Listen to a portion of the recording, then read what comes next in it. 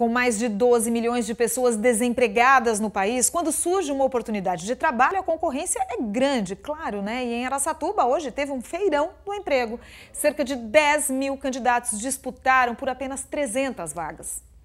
Edivânia, de 28 anos, foi uma das primeiras candidatas a chegar ao feirão de emprego que lotou o posto de atendimento ao trabalhador em Araçatuba. Desempregada há quase seis meses, ela busca por uma oportunidade que pode ajudar a desafogar as contas, além de trazer condições para a sonhada qualificação. Eu cheguei por volta das sete e meia da manhã. Já tinha uma fila, fila grande? Já tinha uma fila já média já, porque a expectativa é grande, né, para todo mundo conseguir aí seu empreguinho, né? Para trazer o seu pão de cada dia para dentro de casa. Camila, de 27 anos, também chegou cedo e já garantiu a entrega do currículo. Na devida crise que a gente está, um feirão como esse ajuda bastante o pessoal a ter um emprego.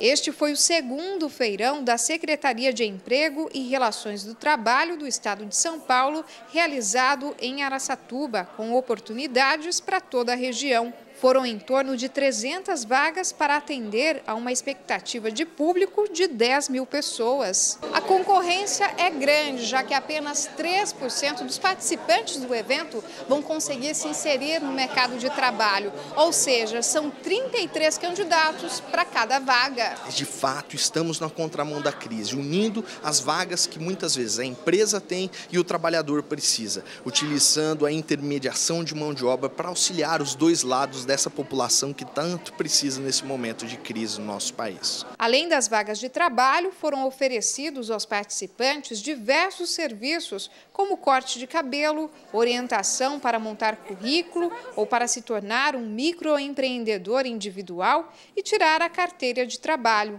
Juliana, de 25 anos, aproveitou bem o evento. Eu acho que vai ajudar muito, porque pelo menos se não sair com emprego, sai com um currículo bem feito.